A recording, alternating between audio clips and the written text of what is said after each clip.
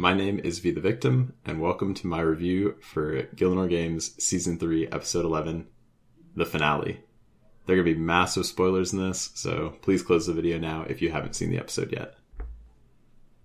This one's going to be a little bit different, as you can probably tell already if you've seen the other ones. Um, face cam, not, you know, pictures of my character or anything. Um, obviously, I. Spoilers. Won the Gielinor games, season three. Um, I didn't want this to be like this crazy scripted self indulgent victory lap. I wanted it to be more of like a discussion because I think that I don't have too much to say about the episode itself, like the content, the challenges. Um, I really just kind of wanted to do a more free form discussion that has a lot less like there's no politics or anything. It's all just it's over. You know, the whole thing's crazy. I I, I still can't believe that I won. I still can't believe the whole series has aired. Like it's nuts. Um, but before I do anything else, I just want to thank Soup for inviting me and just pouring his heart and soul into the Gielinor games. He put in so many hours, so much time and effort. I mean, it was incredible. Um, I also want to thank the other competitors. It was awesome. They accepted me back into GG like I'd never stop being a content creator, and they made the whole show an absolutely incredible experience. I mean, the banter, the competition, the the snaking, the voting, like unreal. I mean, it was so fun. And then last but absolutely not least, I just want to thank all the fans. Um, obviously, the people that cheered for me, but even the people that cheered against me, um, just everyone who watched. I hope that you all have left a like and a comment on the video for Soup. Like, I, you know, boost this man's engagement, please. I hope you're all subscribed. GG season four is in the works. You're gonna want to be getting those notifications when it comes through. Um, but yeah, thank you all so much for watching, and especially for those of you who supported, thank you for watching these reviews. It's been super motivating to have people watching and commenting, and you know, to be able to like bait people with pretending to join the inner circle and you know having some like behind the scenes talks with some of the other competitors who are sending me DMs like especially solo mission about various things. I mean, it's just been awesome. And then also, thanks so much for the reception on my new series here on YouTube, which is Sequestered Region Locked Quest Iron Man. You know, if you haven't seen it, I'd love for you to check it out. Uh, if not, no worries. But anyway, I feel like I've been rambling for so long already. I want to get into the actual final, the GG episode, you know, the review, the episode for which I'm reviewing. Um, and yeah, I mean, I think it pretty much speaks for itself in terms of the challenges.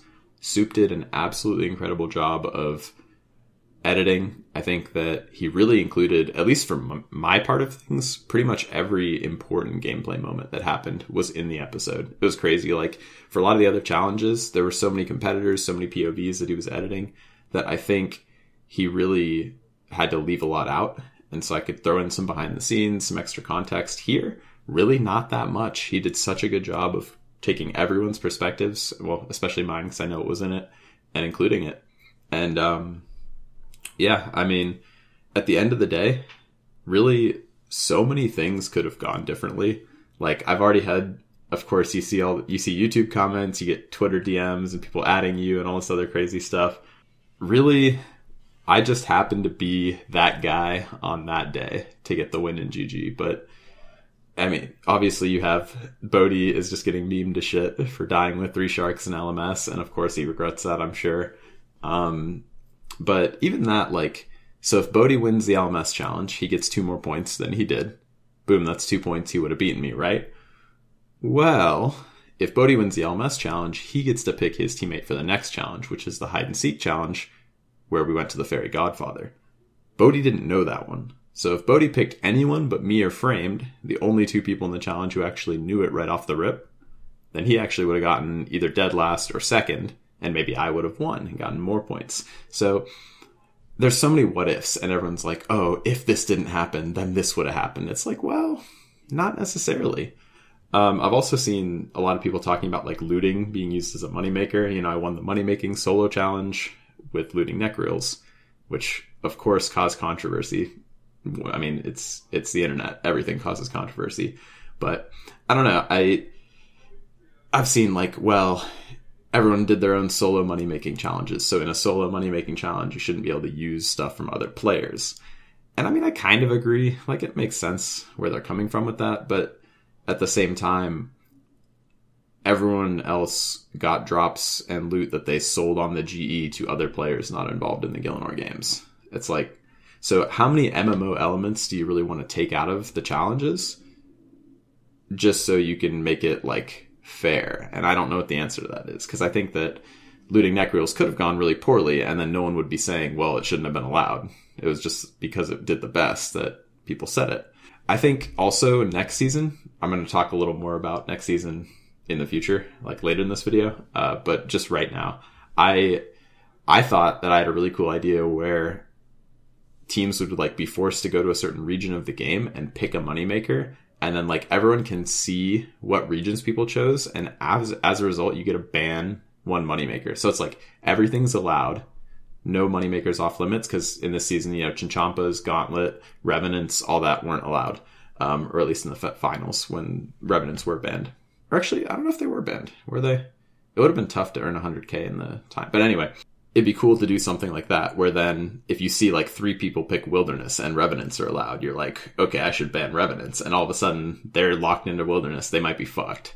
And i don't know. I think that'd be really cool. So that there are so many different shakeups you can do to challenges to like get the most out of them even if they're repeats. So i really hope like soup there's so many things he could do in the future for this challenge for a ton of challenges. And i think the more options are open to people the more interesting the challenge is rather than restricting all these things that people are like, well, this is OP. Well, this relies on other players. I like the idea of doing something a lot more open and getting creative with it. Kind of like Dead Deadman mode, where the last Dead Deadman mode, they had all these like relics and stuff. I think that was a cool idea. Allow more, but like make it creative. So, um, and then another thing that could have been different too, I just came to mind, was like Will fighting the corrupted Hunllef at the end. I think if he kills that, his team wins the challenge and then he draws with me for first place points worth or points wise in the games at the very last challenge.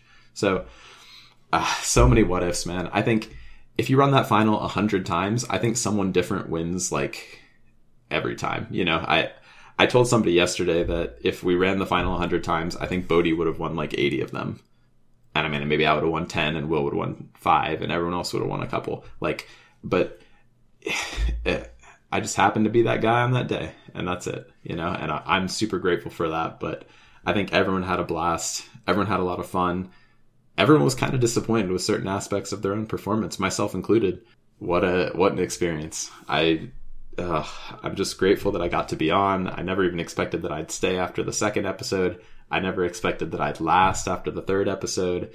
Even in the final, I was like hoping that I'd get top three expecting maybe fourth or fifth at best. Like, so, uh, I mean, the whole thing was an incredible experience, and I'm super glad to have gotten to do that, and also then get inspired by Solo Mission's awesome reviews to make these reviews. And I thought it was funny too. Like early on, people were like, "I think you're making these because you won," or "I think you're making these because you got top X or whatever."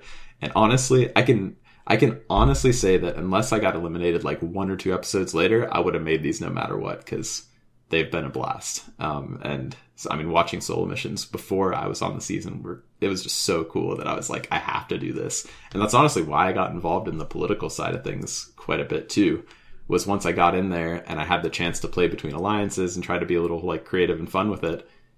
I was like, I know I won't do what solo mission does because he, I mean, he's the guy, he does it best. But, uh, oh man, it was so cool to get to like, I was like kind of, in the same way that I played kind of in the gray area in the middle of the alliances for a while during the season, I feel like I played in the gray area in the middle of who people were in the season too. Cause like I did a couple of villainous things. I did a couple of clever political things.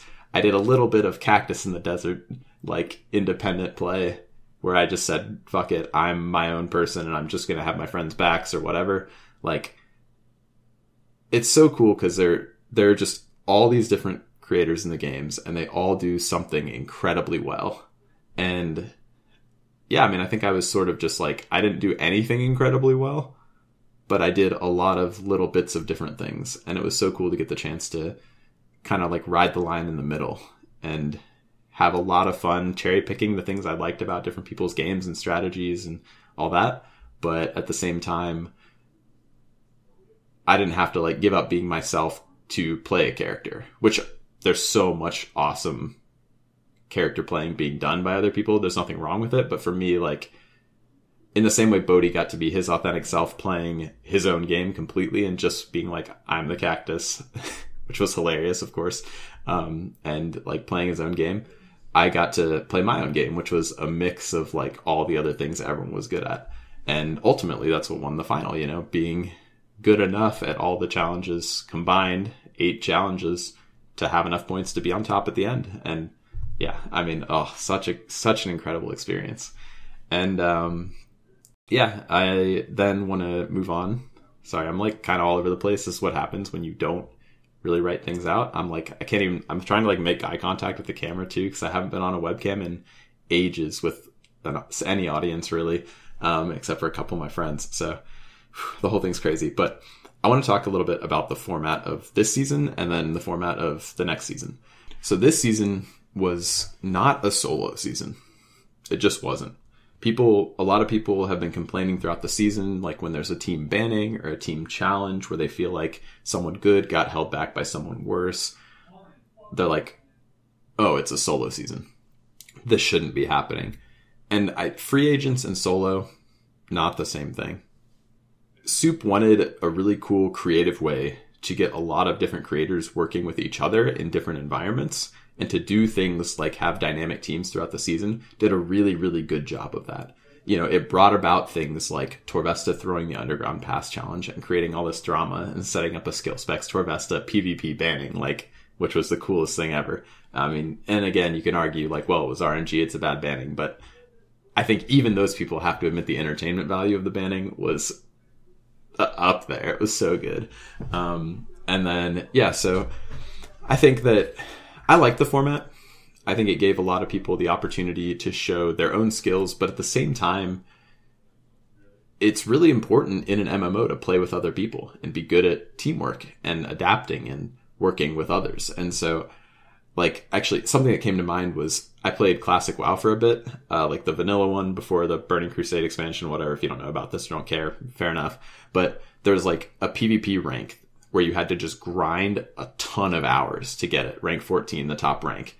And you needed a team, a coordinated good team to do it. So you had to be good to get into the team and play on your own merits to win all the games. But at the same time, you had to be well liked enough to have a good team. And you weren't going to make rank 14 without playing like 23 hours a day if you didn't have a good team that played together and liked each other, or at least tolerated each other.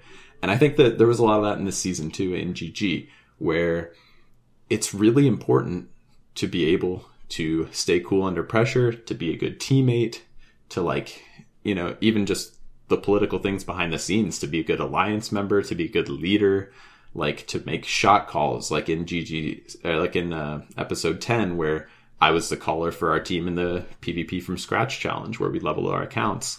Like, it's, I think a pure solo season would have been really boring and I think that the people who are complaining about that format probably just had one big reason to dislike it, like say if their favorite creator was solo mission and he got out and they feel like Eevescape dragged him down in the banning. Like okay, I got cut off by the doorbell ringing, so I got really distracted. But point being, solo season and like a format that allows people to show off their skills, but in an entertaining way in an MMO where they work with others, I think it's just the best of both worlds. Oh, also, people had a bunch of issues with like the the final being six players instead of like two or four or whatever, um, as well as like double eliminations late in the game, like Eevee and Solo getting out.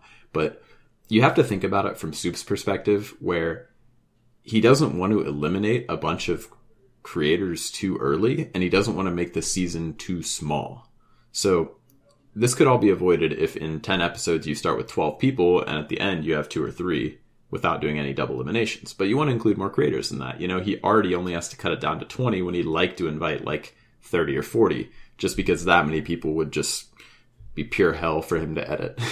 that's that's where he's at with that, I'm sure. So you want to make like as many people stay as long as possible so their audiences want to watch them because most of the people that I mean, GG is nothing without the viewership and creators are nothing without their viewer base. And so you just need people you need eyes on the creators they like watching and caring about the series to have a it be something that is feasible to do as a full-time content creator. And so I think Soup did his best to balance keeping people in to keep interest in the show with also inviting a ton of people to get maximum interest and allow the most people he could to participate in GG. Because that's something else that he said is that it's so hard for him to choose who to invite and who not to. Because almost everyone who's involved in the community would probably love to be in GG. But he can only invite so many people. And then he needs to pare it down to a reasonable number of people for the final. And I think that, I mean, sure, he could have done it differently, but could he have done it better? It's hard to say. I think he did really well considering that he had to make it appealing to as many people as he could for as long as possible. And I think the final was awesome. I think it had a really good format. It was really fun to play in.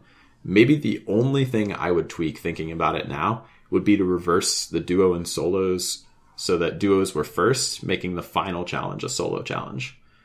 I think maybe that would have been a little better, but again, it's hard to say. I mean, I think the final came out incredibly fun to watch and it was incredibly fun to play. So, oh, also something I have to mention. I can't believe I forgot this was I tried to pick settled for the very last challenge initially to do the monster mash with because I knew that he'd already done it and I figured he'd be probably the best person to team up with it since he already theory crafted it all. Um, but that would create a pair that had already been together no matter what, which wasn't allowed. So I had to pick someone else. And I was like, okay, fine, I'll pick B0aty. And the only reason I picked B0aty was because, well, first of all, he's really good. But the other reason is he himself was the one who had told me that I was winning, basically. it was either one or two challenges before this. He was like, by the way, have you guys been counting all the points or whatever? And I was like, nope. And like three other people or whatever were like, yeah. And somehow people were like throwing it around and everyone said how many points everyone had. And I was either winning or I was losing by one or something. And I was like, okay, well now I know how many points I have. So I just tracked it for like one more challenge. And then I knew that I was ahead going into the last one, or I thought I was ahead going into the last one. It was like, well, if I pick B0aty, I, I win. So I did it. Um, but actually I was trying to, I tried to pick settle because it did feel a little slimy to do the picking B0aty as my partner thing. It is what it is, though. Okay, so anyway, that's really all I have to say about this season. I think it was incredibly fun. I think Soup did a great job. It's easy to it's easy to complain about things in hindsight, but I think that if you know what his motivations had to be as a content creator who needs to get views on the series and appeal to as large of an audience as possible, almost everything makes perfect sense and it would be hard to do any of it better, in my opinion. I know I wouldn't have done better. So I don't feel like I should criticize him other than maybe just offering polite, friendly, constructive feedback for things I don't I don't think were done as well as they could have been, which is something he wants. Um, but anyway, for next season, apparently Soup has already decided on the format. I would love to see something that has small teams. For anyone who has watched Survivor, the reality show, there's like usually I think three, two or three smaller teams called tribes of contestants that play against each other in like daily challenges, and then the losers have to choose someone to get eliminated. I think that could be a really sick format for GG because if you have like five people per team, say you invite 20 people, four teams, five people per team, then you could do like TOB. So imagine like, imagine a TOB team that has like one or two expert, like grandmaster PvMers, a PvPer who has no fucking clue how to do PvM, and then like two funny people who also never do endgame PvM, and they're just like in the struggle trying to complete a TOB before three other groups that have exactly the same like group makeup. I think that'd be the coolest thing. It'd be so funny. That'd be great moments, and then you could still do other challenges like you know hide and seek or whatever. Um, I think that'd be awesome. So I hope that whatever format Soup has in mind is. I mean, I'm sure it's going to be great. Next thing is who's going to be in GG season four. Um, I mean, everyone always throws around so many names, and Soup can only invite so many people. So ultimately, there's like some people that I think are just guaranteed to get an invite no matter what. Um, and that's like probably like the top five people with the biggest audience, I'd say at least. And then like there are certain people that just are such an integral part of the games as an entertainer that I think you have to invite them. So like for that category, like solo and Eevescape, boom, those two I feel like should just be in it. Period. Um, and then like as far as audience size, I mean B0aty, you know B0aty's going to be there. Not only is he super entertaining, but he is the most popular RuneScape player on the planet. Settled, same deal. Torvesta, like, and then oh, entertainment by the way, skill specs didn't say him. Duh, no brainer. Um, so yeah, I mean, the other way that Soup decides a lot of these too is he has a survey that's out um, I'll actually put the link in the description because he and I would love for you to give your input. Um, he puts out a survey and he says like, "What'd you like about the season? What'd you dislike? Who did you enjoy seeing?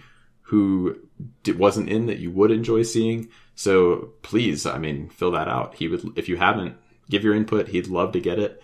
And I definitely have some selfish motivation here. If people did enjoy me being in and say that, then I may be back for season four, which for me would be incredible. But I mean, even if I'm just there as a viewer, it'll be awesome. That's really about it, honestly. I just wanted to thank everybody again. GG season three. I, I had this huge like monologue when Soup asked me about it for my last confessional about winning and like how it felt, whatever. And the part that made it into the video was like RuneScape's about these moments and I'll never forget being in GG and winning it. But that's what I said. I had like this huge middle part that I just rambled for like minutes that got cut out that I kind of want to include here just briefly. And it's like my experience as a content creator in RuneScape can really be like there's just like a few events that were just huge for my channels, my experience and this was just another one of them, you know. So I started out, I got blown up, my channel got blown up with the Inferno release where I did really well everyone was like, "Who the hell is this guy?" And I got so many followers and people enjoying the stream and all that. Um, people are talking about me on YouTube and on the subreddit and all this other stuff. And then Tob came out not that long after, and I was still like, everyone saw me as this really great PVMer. So I got to get in and do some of the first Tobs with B0aty, Wooks, Cloud Badass, Dalek, like all these awesome Lake, all these people, Zulu, and like we got the first Tob drop. Like I got to do that and that was awesome. And then Deadman mode, the first Deadman mode, you know, like B0aty dropped me on stream for like a 30 mil key and lost his shit. And like, ah, I, you know, and then GG season three. I get to participate, come in as a sub. I have like no self confidence, but everyone's really accepting and friendly. And I, and at the end of the day, I take it down. And it's just another one of those moments that make having been and being a RuneScape content creator like one of the greatest things that I've done in my adult life. And like in my head, I want to be like, that sounds pathetic, but it shouldn't. Like it's so fun. The community is so incredible. Not only the streamers and the creators, but the audience who just care so much and support so much. Like, ah, oh, man, it was an incredible experience. This is going to be my last review. Hopefully, season four will come out. I'll get to stir the pot a little bit and make some more. But if not, Thank you so much for watching. I would love for you to check out my new series, which is, I'll put a link in the description, but it's on the channel already up. And feel free to follow me on Twitch too. I would love for that to be a thing because I will be streaming probably at least once a week. I'd like to do there. Um, I do work full time on the side, but all this stuff has just gotten me so interested in getting back and creating some content. And I would love for as many people as possible to interact with me because that's the most rewarding part of content creation. It's been the most rewarding part of playing RuneScape since Old School came out, and I've been playing for almost 10, 10 years. That's so crazy. So, yeah, thank you all so much for watching. I hope you wonderful people are doing well. Please do subscribe to my channel here, follow my channel on Twitch if you want to stay updated and involved with my content. And hopefully, I will see you soon.